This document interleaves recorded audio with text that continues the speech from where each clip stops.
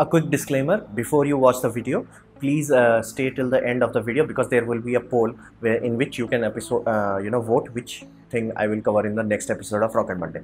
Thank you. Now with on with the show. Hello youtube viewers. Welcome to my show rocket monday. In today's episode we're going to take a look at space shuttle nasa's deadliest mistake. So let's dive right into it first you have to understand why they were planning to uh, build space shuttle. So they had to retire this saturn v system which was an expendable system. Basically use and throw sort of system. And it was quite successful quite safe however idiotically expensive. As in if you inflation compensate their uh, cost you are talking about roughly 1 uh, 1 billion to 1.5 billion per launch. So suffice to say it was quite expensive. However it was also a super heavy lift rocket as in it could send more than 50 tons. How much? Basically they successfully managed to put 130 ton into low earth orbit. Suffice to say this rocket is a big rocket and here this image should give you a sense. That's a small truck size of a one of its engine f1 engine. So they had the system they got the things worked out and in the last mission uh, last launch of this rocket they sent a skylab rocket and basically it was a space station. And they figured it out they have to build a space station now and how they're to build it. They worked out the logistics so they had to build a new launch vehicle. So they wanted to retire this and they wanted to make sure the re replacement that they're gonna build would be cheap as in very low cost. 1.5 billion dollar per launch was not uh, let's just say it was not going well with the senators and the congress. For that reason they wanted to make sure the cost is low second they, how they're gonna make the cost low was they wanted to practice out reusability how they're gonna you know uh, recover as much parts of the system as they can. And this was a requirement from department of defense. They wanted to cre uh, create something called quick turnaround time. Basically uh, once your rocket is used the next rocket should be sent as quickly as possible. They were aiming for roughly 15 day turnaround. Basically from first launch to second launch there should be 15 day gap.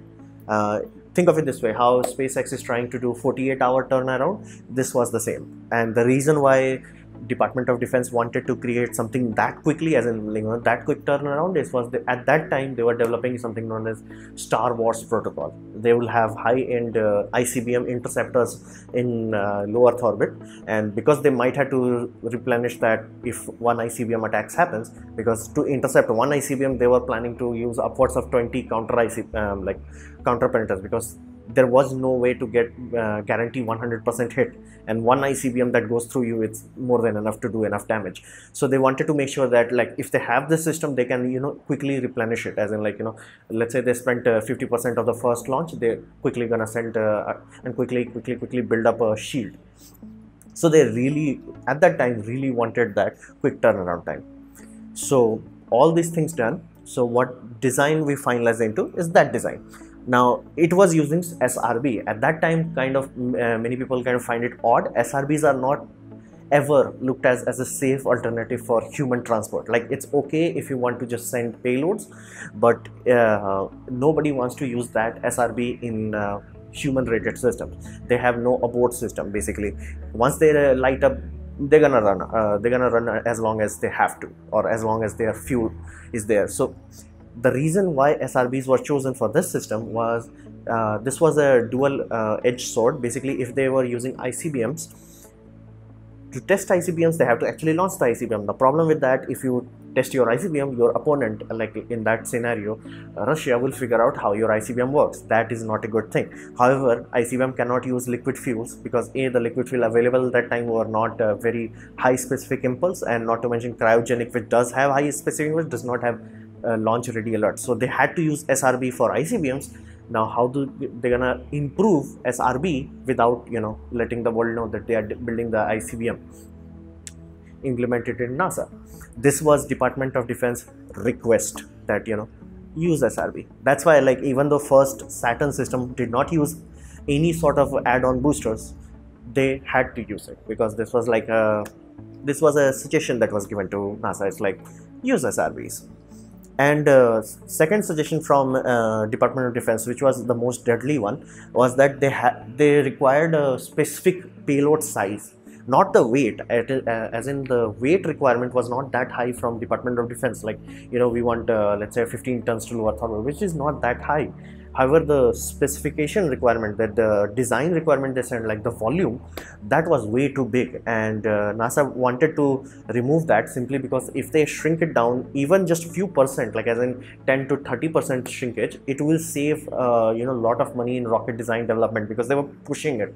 Like just trying to make that a bit bigger it it was like completely changed the rocket size rocket volume rocket usability everything. So these two suggestions from department of defense was kind of a very big uh, design element into the main space shuttle design. And uh, the sad part is even though De- the department of defense asked them for a specific payload specification they never used it. And so nasa after all the specification they settled onto what's called partially reusable. Basically they're gonna reuse the most expensive part which is these engine. The best engine ever built i'm like you can debate around that but so far this is the best engine closed cycle engine and they wanted to recover it. And srbs the icbm technology basically it will also come to land and uh, they're gonna recover it. Basically this is not a reuse system. They're gonna uh, collect it strip the paint polish the metal again rebuild it from ground up. So all they are saving here is just the basically flight data and a lot of metal.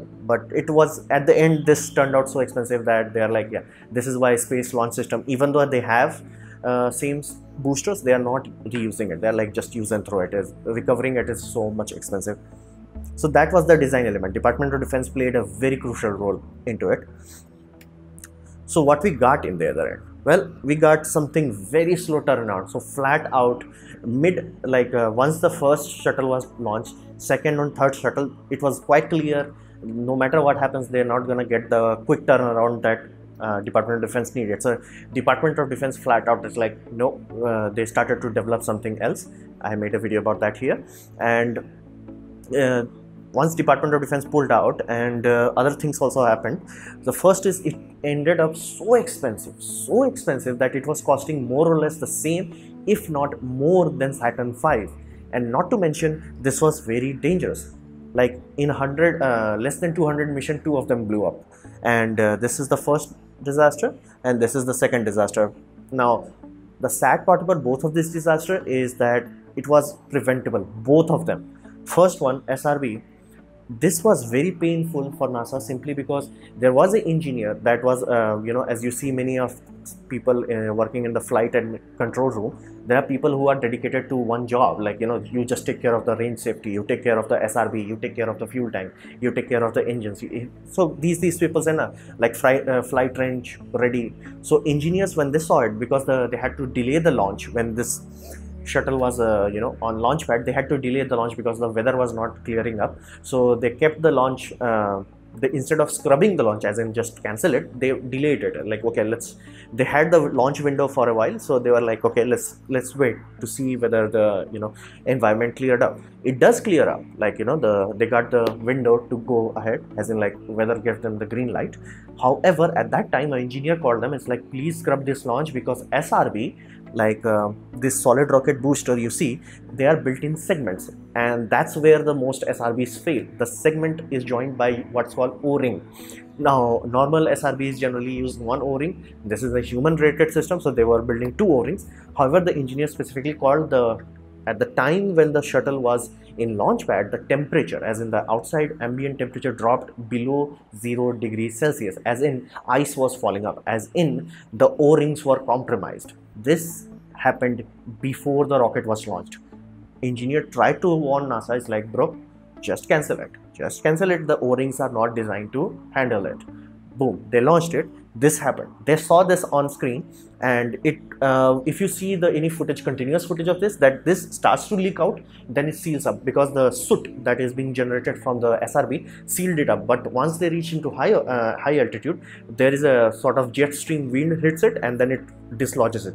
Then it leaks out. And that time srb is firing at much higher thrust factor as in like it's much more powerful at that time. It's burning at max capacity. It just punches a hole into the orange fuel tank and boom this was 100% avoidable. It's not like you know somebody could have done differently. Somebody followed the procedure and wanted to stop this launch.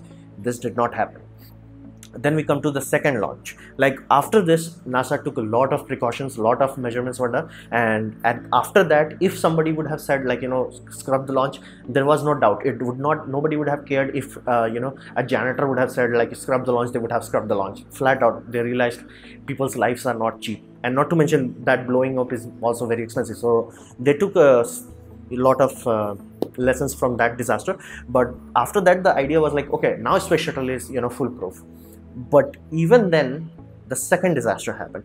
And in this scenario uh, this uh, my country lost an astronaut known as kalpana chawla the challenger disaster now problem in that disaster is that uh, nasa has used what are, what's called range cameras. Basically there are a lot of cameras that will track the rocket as it goes up.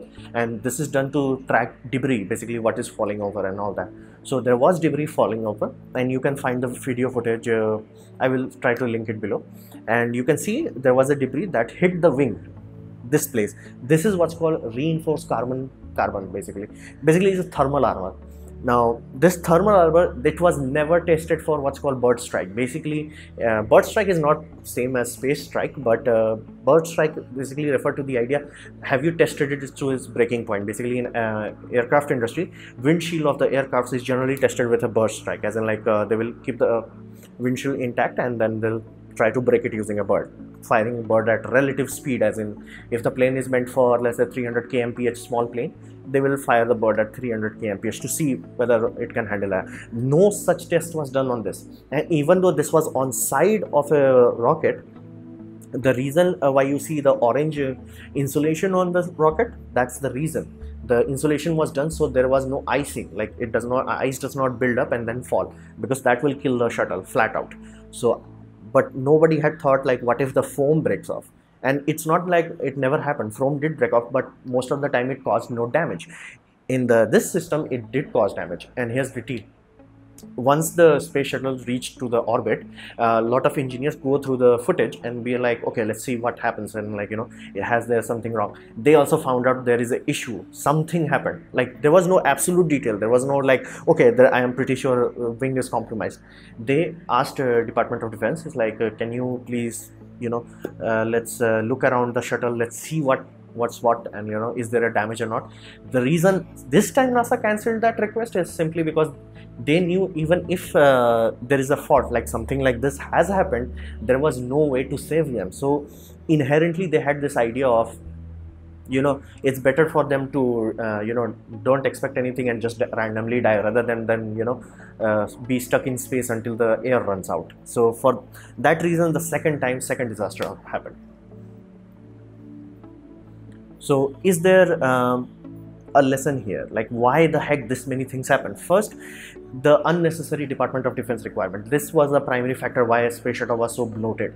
They never used it second there was too much optimism into building a like this is the best example i can show you is this is what nasa was thinking. Like you know this is how they're gonna refurbish a space shuttle this is what they need to refurbish a space shuttle so this is why like there were optimism was way too damn high. Like they were this is like even an aircraft needs more maintenance than this.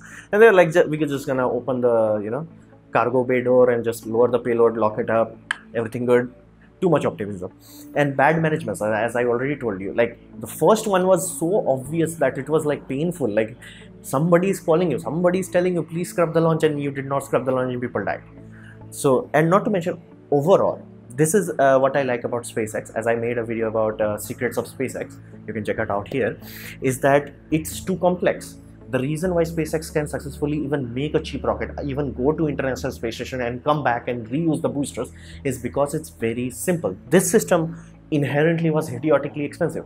To give you an idea, it has three types of engine. SRB, solid rocket booster, then uh, liquid fueled uh, liquid fueled rocket engine, the RS-25. Then it also has orbital class. The you see the three main engines, then you see two small nozzles. Those are orbit maneuvering engines. So it had three engines how much engine uh, SpaceX has? One. Basically, they have one type of engine. That's it. They just have nine in the first stage and uh, one in the second stage. So you can see, like, the inherently there were so many things into the system built into it that refurbishing it was expensive building it was expensive everything every aspect of it was expensive and not to mention because this was uh, government funded uh, let's just say they were not very great with the money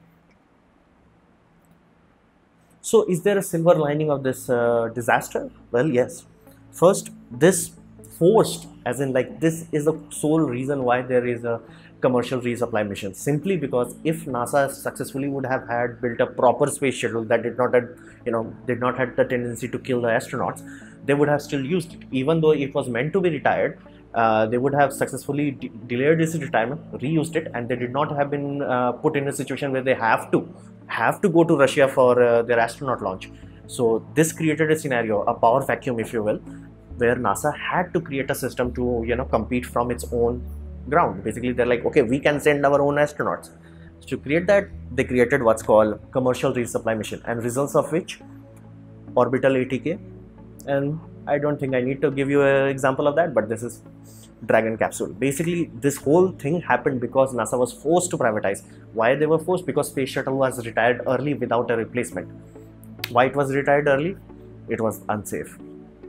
And this also forced NASA to do much better management. Now the SLS system from, is, is being built from day one for safety. As in like from day one, they are making sure that no matter what happens, whatever happens to rocket, whatever happens to the you know launch pad, they get their astronaut back. The launch abort system has been tested thoroughly and they're gonna uh, they are very confident that even if srb blows up they can still save the astronaut. And not to mention the engine that we got out of that that was phenomenally awesome engine. And as uh, many of you know yesterday uh, elon musk held a press conference where he was talking about raptor engines and the first private citizen that will go around the moon.